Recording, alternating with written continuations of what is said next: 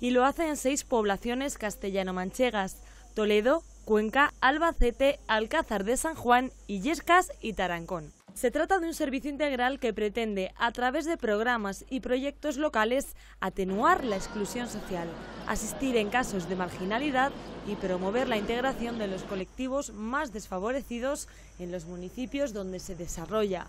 Y lo hacemos a través de ayudas a la alimentación y a los más pequeños, ayudas a la vivienda, ayudas a la empleabilidad de las personas que, a través de familias eh, numerosas pues necesitan una especial atención en materia de conseguir un eh, empleo digno para mantener a esa familia y de todos los instrumentos sociales que en el área de,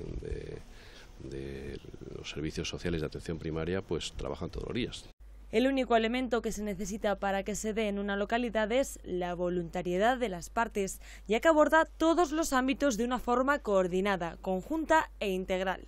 En Illescas, por ejemplo, este plan ya está dando sus frutos. Y llevamos utilizados 30.000 euros solo en vales de comida, en atención farmacéutica y en suplir las carencias que algunas familias tienen para hacer pago a sus necesidades de agua, luz, eh, calefacción. Yo creo que aunque solo fuese una familia la que estuviese necesitada en Illescas, sería necesario instrumentos como este.